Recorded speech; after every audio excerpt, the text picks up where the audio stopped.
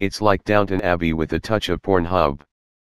Gogglebox cast are stunned as they watch Netflix's very raunchy Bridgerton. Gogglebox Australia returned to screens this week. And the reality TV hit is off with bang, with the household settling in to watch Netflix's raunchy drama series Bridgerton on Thursday's episode. What am I watching? asked cast member Chantel, as she watched one of the show's famously explicit sex scenes with best friend Kate. The Shonda Rhimes produced series, in which the Bridgerton siblings attempt to find love in 19th century England, has become known for its steamy depictions of romance.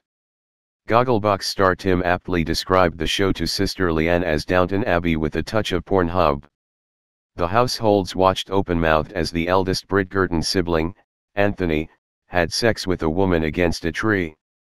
Mum Kate commented to her daughters Millie and Holly, it's very raunchy, no wonder everyone at book club loves it. Keith, meanwhile, cheekily suggested to wife Lee, we've got a tree in the backyard.